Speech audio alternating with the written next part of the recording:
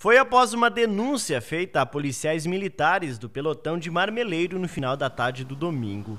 Segundo o que foi informado, havia uma movimentação estranha na zona rural do município. Os policiais foram até o local e encontraram uma caminhonete e uma moto. Dois homens tentaram fugir ao perceber a presença da polícia. No carro foram encontrados diversos maços de cigarros contrabandeados do Paraguai. Os dois suspeitos de 33 e 20 anos já tinham passagens pela polícia por posse de arma de fogo e envolvimento com o contrabando de cigarros e drogas. Eles foram encaminhados à Receita Federal de Cascavel.